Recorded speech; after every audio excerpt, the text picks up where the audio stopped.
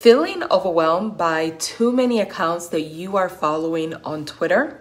Want to clean up your feed quickly? I have got you covered. Today, I'm going to show you exactly how to mass unfollow on Twitter. We will cover the tool, strategies, and tips to help you efficiently manage your Twitter following list. Let's get started.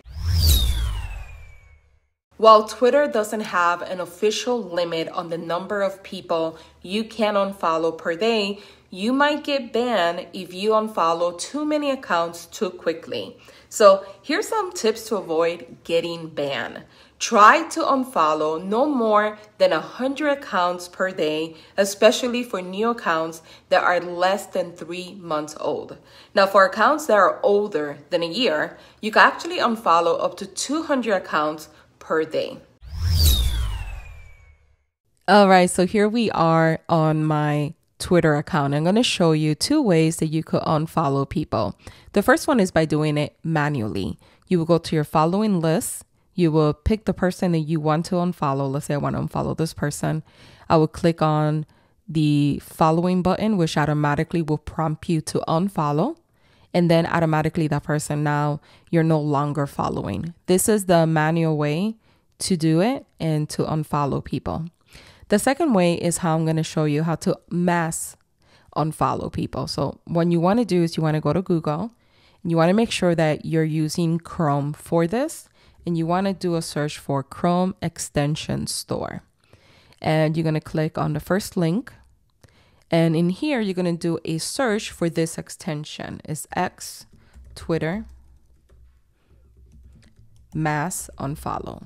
Do a quick search and you're going to see this little icon with a blue bird. Go ahead and click here. What's nice about this is that 10,000 users are using it. It has great reviews and it's free. You don't have to pay anything and it actually works. So go ahead and add to Chrome.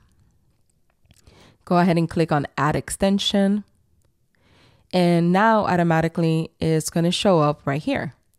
Now, if you don't see it in your Chrome extension bar, click on this little puzzle and then go ahead. It should be the first one here. Go ahead and pin it. If you don't see it here, just scroll down through all of your extensions. Go ahead and click on the little pin.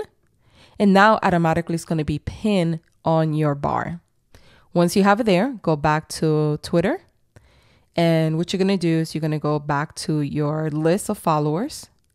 Now, if you do it this way, it's automatically going to go ahead and remove everyone from your list.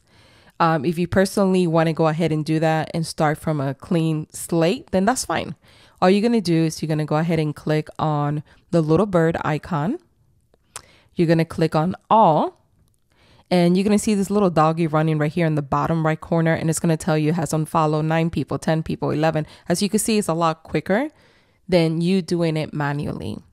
Now, I don't recommend doing this the entire day. I don't recommend doing thousands of unfollows. It could ban your account. So just be mindful of that. Like I said earlier, I wouldn't do more than 100 if you are a new account. If you're older account, I wouldn't do more than 200 per day. Once you're done here, let's say that it, it automatically stops around 44, 45. What you could do is just refresh the screen again. Go ahead and click on the blue bird again, and then go ahead and click on all. And then automatically it's going to go ahead and start unfollowing more people. But this is how easy it is to use this extension.